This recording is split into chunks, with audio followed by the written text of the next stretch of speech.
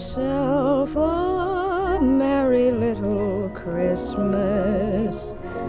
Let your heart be light. Next year, all our troubles will be out of sight.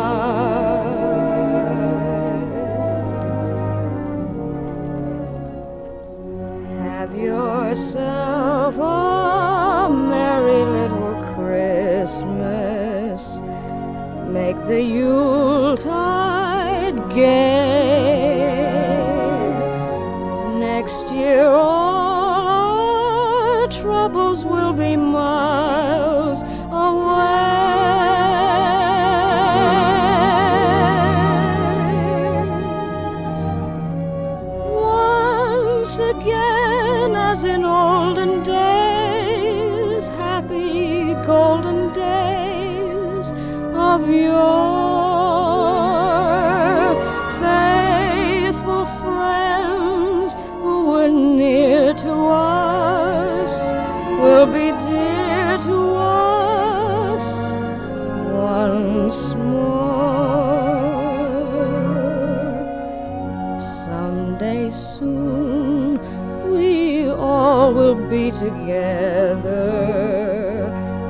if the fates allow.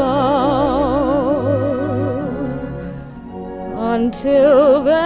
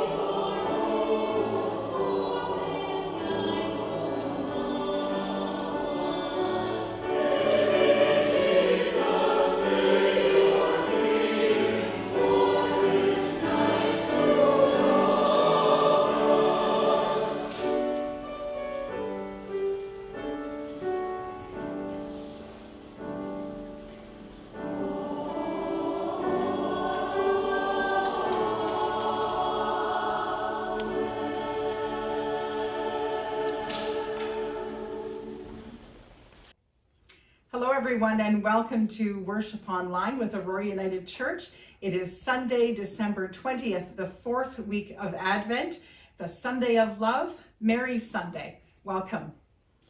I want to begin today by thanking all of you who provided photos for our Christmas photo montage today. It was wonderful to see you and your family members, including your pets, from Christmas past and present. A, a lovely reminder. So thanks to Reverend Andy for putting that all together for us today. Our Christmas Eve service will be virtual this year, of course, but we will begin as we do in every year with a pre-service concert uh, featuring, featuring some of our musicians and singers from the congregation.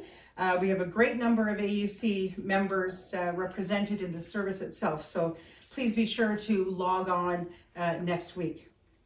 In preparation for the Christmas Eve service, I do want to mention that we will be celebrating the sacrament of communion, so you'll want to be prepared with your own elements. Also, the for the singing of Silent Night at the end of the service, you may wish to have uh, a candle ready to light. Thanks all who are participating in worship today. Uh, the Advent season has really been made to feel um, like home, I think because of so many of you offering your uh, talents and skills for this time. So we want to say thank you so much for to all of you. Thanks, of course, to our videographer, Noah Komar, and to our video editor, uh, Bob Kyriakides. Thanks all. We hope you enjoy your very much changed holidays with your family. And uh, just a reminder that we will monitor emails and telephone calls during the holiday period.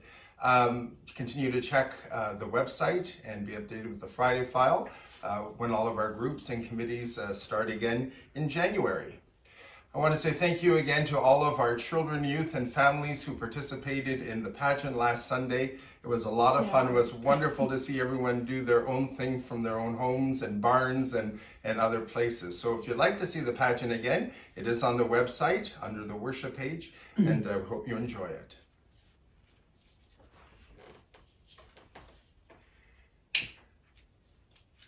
And so we light our Christ candle as we welcome the God who we know in Jesus, the presence of love this day.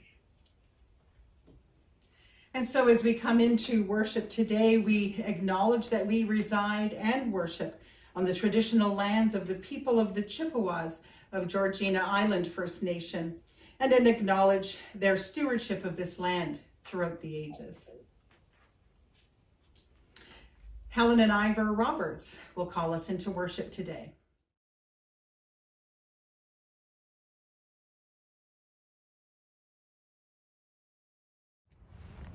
Be with us, God, in stone stillness and quiet corners.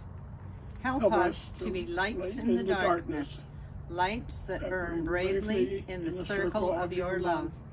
Hear our prayers, O God, our yearnings and our caring, our concerns and our questions. Help us to be lights in the darkness, lights that burn bravely in the circle of your love. Be in us, God, in our work, our calling, our journeys, our wondering, our worship. Help us to be lights in the darkness, lights that burn bravely in the circle of your love. Our opening hymn, O come, O come Emmanuel.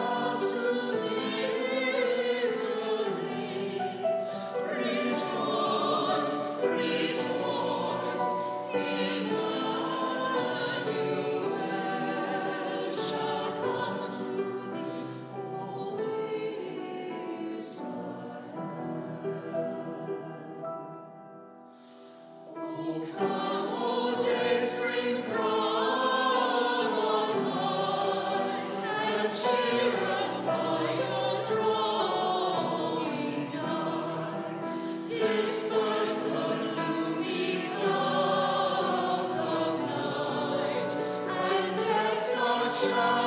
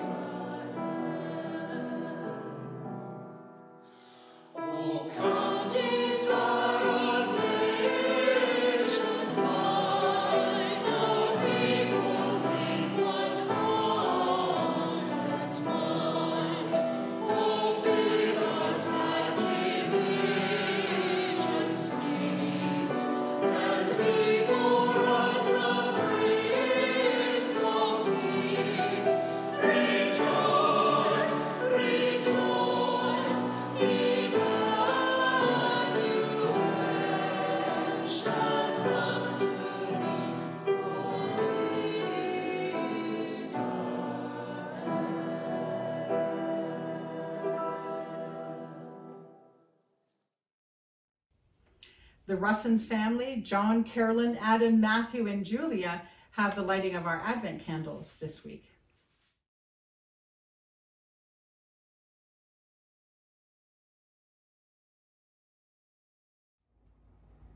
Today is the fourth Sunday of Advent.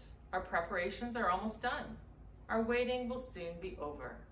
So far, we have lit the candles of hope, peace, and joy as we have journeyed this Advent season.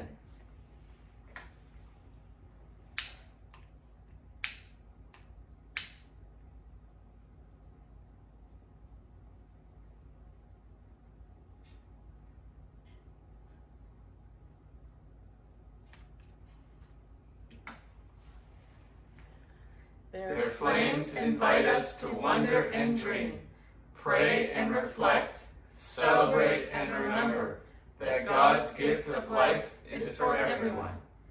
Today, we light the final blue candle, the candle of love.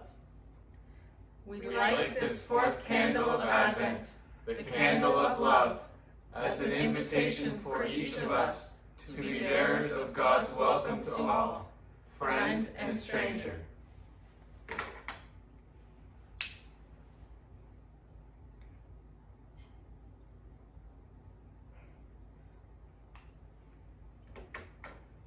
Let every heart proclaim his love. Thanks be to God. Our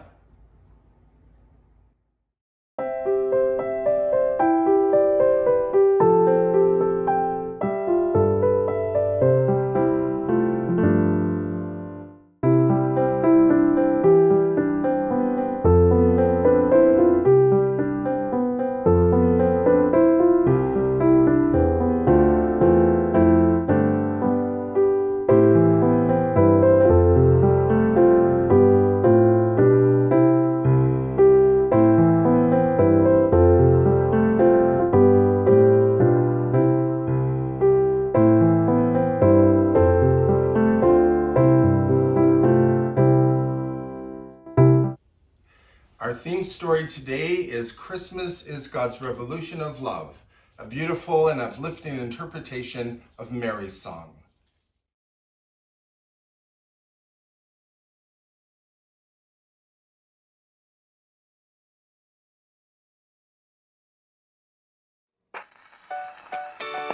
Christmas is God's revolution of love. Mary knew this even before the baby was born. She sang of a love that lifts up the lowly, fills the hungry with good things, and brings the powerful down from their thrones. She sang of a love that turns despair into hope, war into peace, sorrow into joy, and hate right into love. Christmas is God's revolution, and the season of Advent is our time to get ready for it to participate in it, to sing with Mary loud and proud about a God who turns everything upside down. This Advent, you are invited to prepare, to pray, to play a role in God's revolution of love. singing with Mary of a new world that is here on earth as it already is in heaven.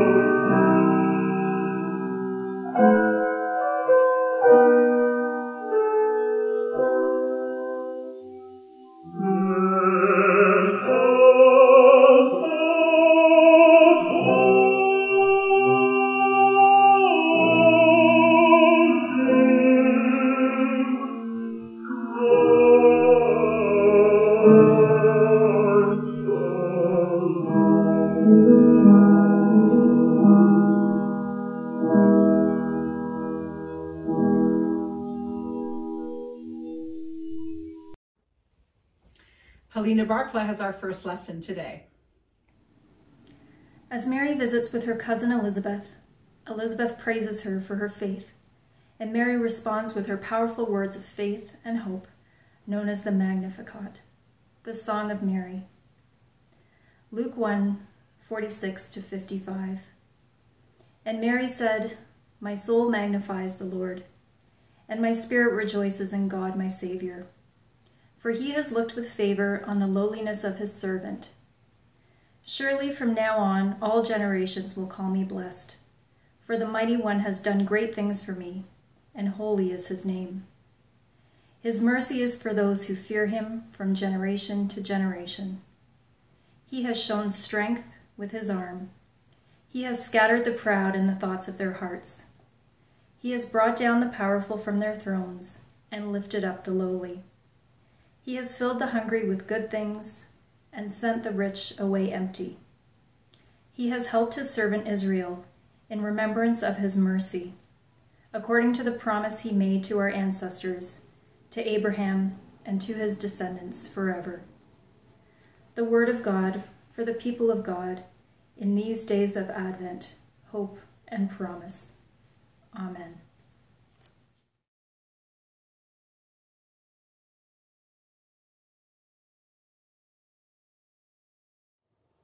Mm-hmm.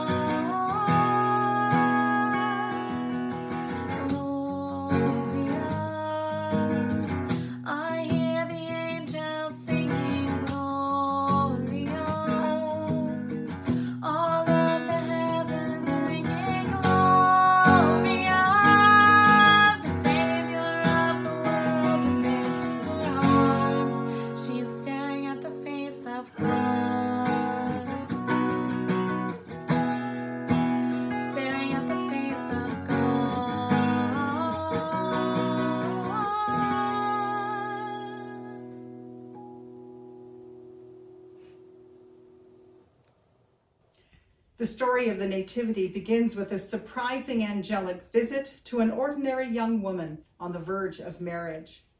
Mary's yes aligns her will with God's, and the story of Jesus' birth unfolds. I'm reading from the Gospel according to Luke at chapter 1, verses 26 through 38. The angel Gabriel visits Mary.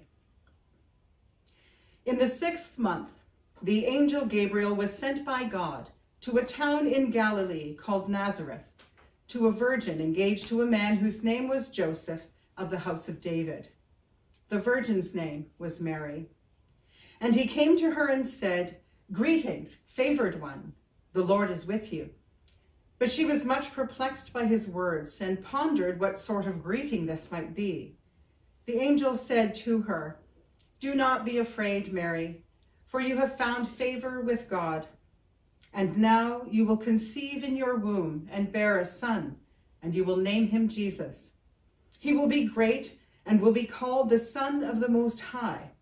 And the Lord God will give to him the throne of his ancestor, David. He will reign over the house of Jacob forever, and of his kingdom there will be no end. Mary said to the angel, How can this be, since I am a virgin? The angel said to her, The Holy Spirit will come upon you, and the power of the Most High will overshadow you. Therefore the child to be born will be holy he will be called Son of God. And now your relative Elizabeth, in her old age, has also conceived a son.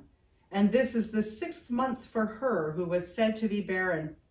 For nothing will be impossible with God. Then Mary said, Here am I, the servant of the Lord. Let it be with me according to your word. Then the angel departed from her. Thanks be to God for these words of Scripture. Amen.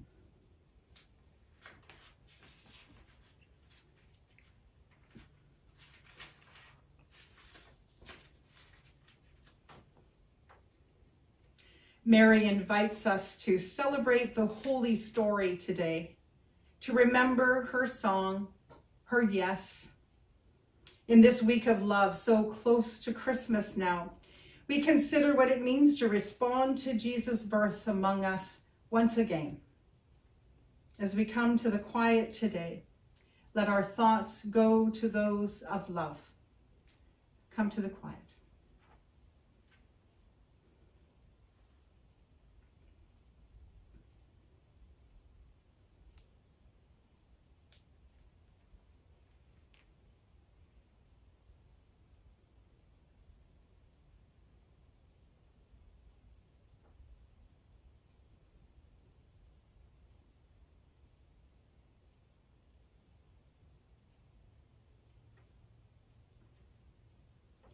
Open to it, and you will know how love is its own blessing and most ancient of laws.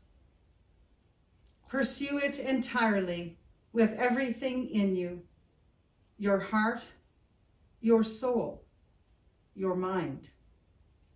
Spend it all, this love so generous, this love that goes out to each it finds, this love that gives itself in lavish and unimagined measure, everywhere and to all, yourself not least among them. Amen.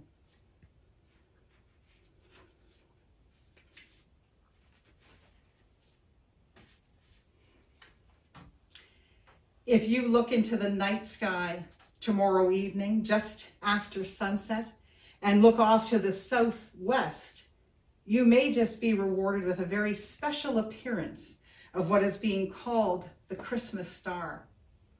Not seen in our night sky since 1623, it feels to be a gift coming to us, a gift that suits us all very well indeed, especially in this year. So tomorrow, December 21st, which of course is the winter solstice or the longest night, the onset of winter, Jupiter and Saturn will appear to align so closely that they will look to be a single brilliant star, the brightest object in the sky. And just before Christmas, absolutely perfect. So looking up will feel like an act of worship tying us so beautifully to the shepherds and magi of scripture whose story we recount in every year of those who saw the star and followed to find the baby Jesus. Could the shepherds and magi of antiquity have been looking for that same star? Well, researchers at the Ontario Science Centre say, who knows? It's certainly one explanation. The Great Conjunction, as this event is known, does feel to be the perfect antidote to some of the despairing that has visited our lives in this time of pandemic when, along with the um, aid of vaccines coming our way soon, will help to dispel the weariness of too many months indoors, isolated and set apart. It's a lovely thought that so many of us would be looking up tomorrow night and feeling that same excitement and wonder. Our history books tell us that the last time people were able to uh, see this Christmas star in 1623, that many of them were actually dealing with or experiencing plague in the different parts of the world in which they lived. And I expect that in that time, the many Christians represented in their number would have been on their knees with prayerful hands clasped to their breasts, praying and thanking God for the reminder that God knew their pain, understood their fears, and that hope would prevail. The Christmas star will hold, um, I think, a variety of meanings to the many who will head out tomorrow night. For some, it will be to simply see the very rare astrological occurrence. Some will receive great, great affirmation from it. Others will be excited about the fact that something really bright is blazing in the night sky, a much needed wink from the universe, whatever our religious or philosophical leanings might be. Sometimes it feels as though our weeks of Advent end up flipping end to end. As in this fourth week of Advent, the, the week of love, Mary's Sunday, feels to be tied end to end with the first, the week of hope. As we hear Mary's words so infused with hope today, both when saying yes to carrying the baby Savior and again, when visiting with her cousin Elizabeth, when the writer of the Gospel of Luke attributes to her a girl of 13 or 14 years of age, the longest statement or poem or song uttered by a woman in all of the New Testament, filled as it is with prophetic words having to do with justice and echoing the words and stories of Jewish women's history that of Miriam, Hannah, Judith, and Deborah.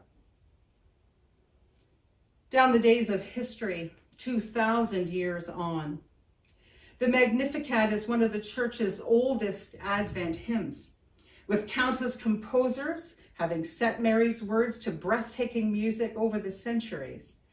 And yet in our Protestant tradition, I wonder if Mary has ever gotten her due in the telling of the Christmas story over all these years.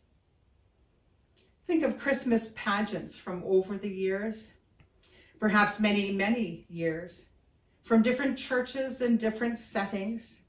Mary, usually dressed in blue, with a mostly silent Joseph beside her, off to Bethlehem on a donkey, and then the serene image of the baby Jesus in the manger with every kind of animal you can imagine lingering by. And come to think of it, I think we've had a unicorn at our AUC pageant for the past few years. And Mary this year appears virtually, of course, in an actual barn. It's the way we continue to tell the story of Jesus' birth, the details altered in the telling from year to year, but the final scene is always the same. The baby Savior is in the manger. His name is Jesus, and the whole world rejoices. But it is on, on this day in every year we hear Mary's words said in the presence of her cousin Elizabeth that are the, per, the precursor, the, the prophecy for those who have waited in such deep hope for a Savior. And Mary speaks to generations of seekers who hope for the same. All generations will call me blessed, she said. In Old Testament studies years ago, I recollect a professor saying that there was something interesting and even amusing about prophets of old and how they seemed to make their predictions based on how long they expected themselves to live so that their big news prophecies would not have to be answered for if they turned out badly because they would be long gone. But this is not Mary. And perhaps it had something to do with her very young age and the energy within her for the life that she was about to live. When Mary names the divine reversals of God in what we call the Magnificat, she does not say, this will happen, but has happened. The mighty one has shown strength with his arm, has scattered the proud, has brought down the powerful from their thrones and lifted up the lowly, has filled the hungry with good things, as if it's already happened, not divided into things that are already over and, and things that have not yet happened, but as an eternally unfolding mystery that surprises everyone in each generation. Good news for anyone, of course, who down through the ages have found power and strength in Mary's words and then dared to hope. For months now, on social media platforms of all kinds, people have been creating memes and posting their own particular view of what this year 2020 has been for them, what their experience has been of this year. And we understand we've certainly all lived it. In that wonderful, sarcastic way that really funny people have about them, those postings have addressed a lot of the, the bad feelings folks have had while attempting to just cope in the time of pandemic, when feeling powerless could feel like a bottomless pit. While we speak of hope and encourage one another to remain hopeful, acknowledging what is true and real has its own cathartic way of keeping us moving forward, especially if it's funny. If 2020 was a math problem, this is one you've probably seen in a few places with a few of the details changed. If 2020 was a math problem, it would sound like this. So get your pencils out. I mean, get your phones out. Let's be honest. If you are going down the river at five kilometers per hour and your canoe loses a wheel, how much pancake mix would you need to re-shingle your roof? I'll repeat that. If you are going down the river at five kilometers per hour and your canoe loses a wheel, how much pancake mix would you need to reshingle your roof? I've been assured that the answer is blue. if 2020 was a candle, it would stink. If 2020 was a photograph, it would be blank. If 2020 was a boat, it would not be above water. Well, you get the idea. We love stuff like that because it is entirely relatable and it makes us laugh when we need to laugh.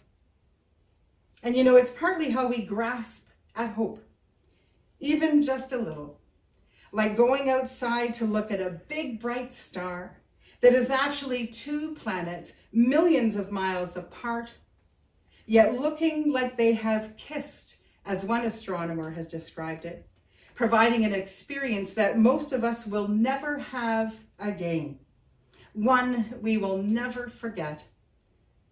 Like the Christmas we all stayed home to love each other most profoundly, in the hope and promise that we would be together again, when the promise was real and in a new year altogether. Hope is a star in every year. And this year, when we needed it the most, it will shine for all of us to see. Look up. Amen.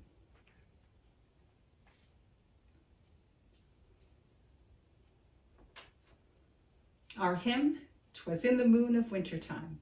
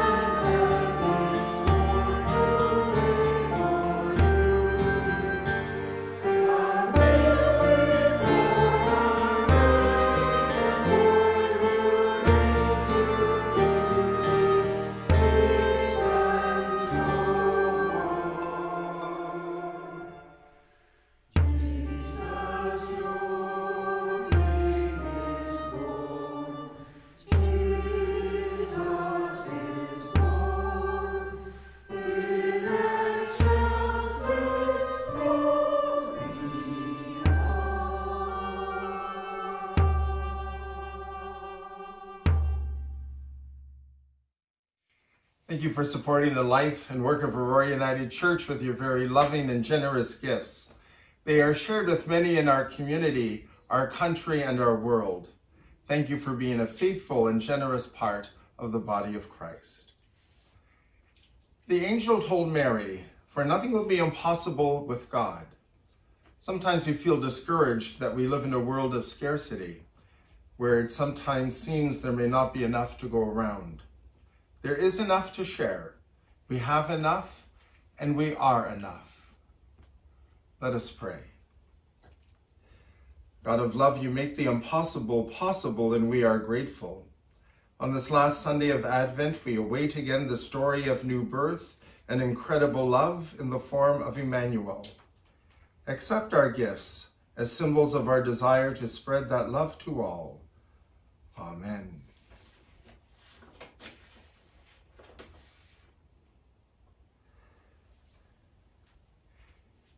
And so as we come to this time of prayer, I invite you to remember those who need to be held in God's love this day within the silence of these prayers of the people. On this fourth Sunday of the Advent season, we await the coming of Jesus with love. Let us pray. Advent God, we have lived so long in darkness. We wait, we prepare, we anticipate your coming. With praise and thanksgiving, you bring us your light in Jesus. Shine on us with Jesus' glorious light, that we may show forth your faithfulness through all the world. May your light shine through the Ridgetown Chaplaincy Program and the Jerusalem Center for Women. O come, O come, Emmanuel, we are still waiting for you. We are waiting for the Prince of Peace. We are waiting for the wisdom from on high. We are waiting for the gift of love. O come and set the captives free, free those who are captive to sorrow, those who are alone, those who suffer from depression, those for whom this time of celebration is a time of sadness, those who grieve the loss of a loved one, free those who are captive to poverty, those unable to find work, and those who work cannot supply their needs. In our community of sharing, O God, and community in which you live and breathe, we lift up those whose need touches us as we pray for Libby and her family, Joyce, Lori, Carol, Faith, Penny, Peter, Barb, Kevin,